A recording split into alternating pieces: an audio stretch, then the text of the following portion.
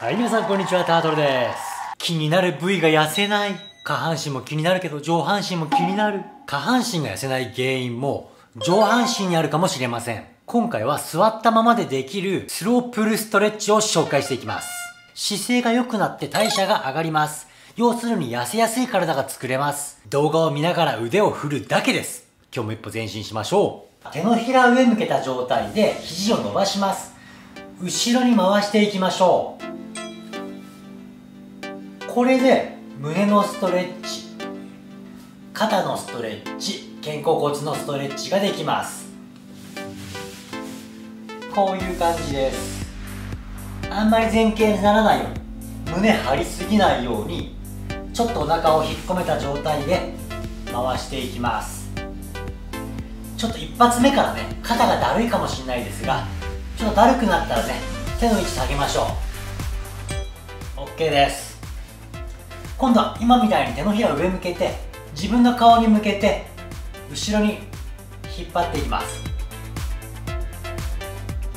このスロープルストレッチというのはできるだけゆっくり後ろに引いてください。そうすることでフォームが安定してストレッチができます。あんまり早くねこうやってやっちゃうとねもう雑になっちゃうんでゆっくりね筋肉が伸ばされる。意識しましょう。はい OK で今度はね肩をね回しましょう。ちょっとずつねやっていきましょう。はい。肩から下を楽にしてもらって上げたら落とす。ちょっと後ろにね回す感じで首も回しながら鍛えるばっかりではなくてこういうストレッチをすることで筋肉のバランスがね取れやすくなります。楽にいきましょう。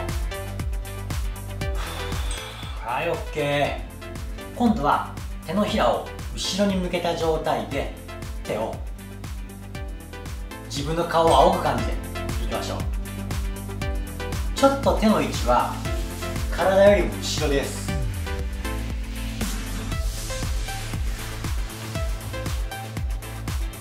かりね上半身の筋肉を後ろに引っ張りながら動かすことでバランスが取れます。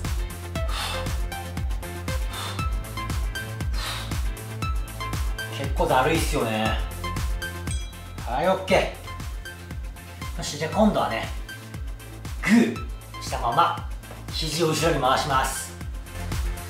スタート。これもねゆっくり。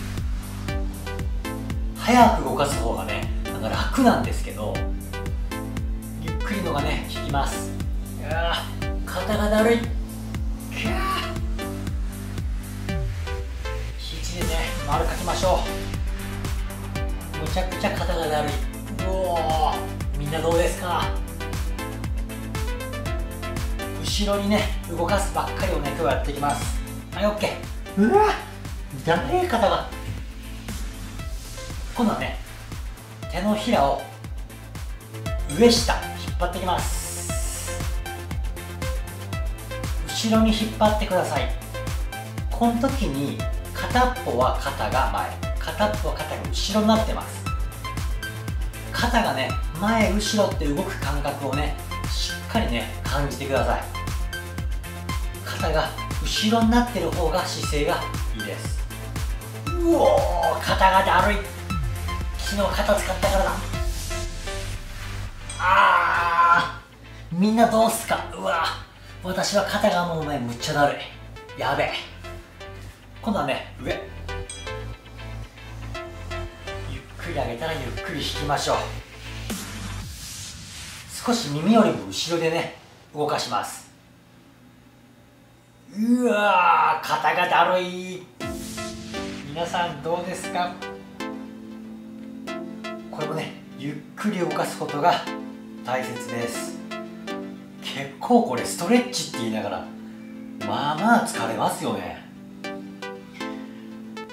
OK あー肩が肩が肩が肩が取れる。よしゃ今度はね前。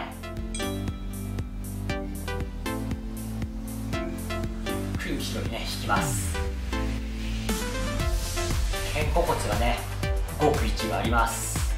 あんまり上すぎるとね肩甲骨が動かない。んで斜め下のちょっと上ぐらい。しっかりね肘引くだけじゃなくて肩甲骨が寄ってる感じをね意識してください。はい OK 今度は手のひらを後ろ肩触る感じでねこうやって動かします。肩触る感じでこれはね肩がねむちゃくちゃくると思います。肩こりある人とかね肩が疲れてる人はねすごいだるいと思います。私はね昨日肩ねちょっと筋トレしちゃったんで今日むっちゃだるい。やべ。うわうわオッケーかー肩がしゃあ今度は手のひらを上向けてちょっと肘曲げ。て後ろに動かしますこれはちょっと肘を前に持っていくぐらいな感じで動かします水平より。もちょっと肘が前そうすると肩がしっかり。後ろに回るんで胸とね背中が動きます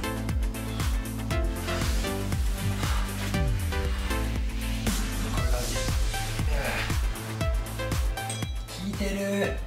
OK 今度は今のままで肘を引く。しっかり肘をねちょっと前に出して。これもゆっくり。ゆっくりね。肩甲骨をしたままで。グッグッ肘引く感じでね。二の腕痩せにもね効果的です。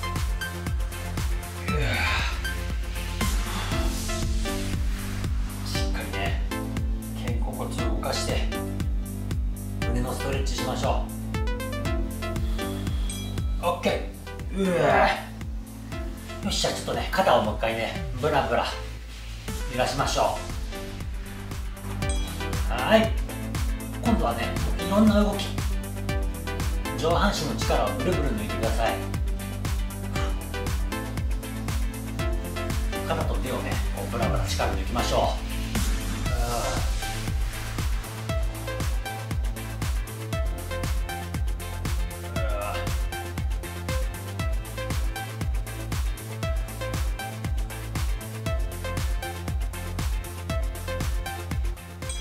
はい OK ラスト。斜め上から下に引きます。手のひらをこの時にひっくり返します。手のひらひっくり返したまま。引く。します親指を外側向けてちょっと難しいと思いますがしっかり肘を引いて胸肩甲骨を動かしましょう。ふい。せい。せいや。OK です。お疲れ様でした。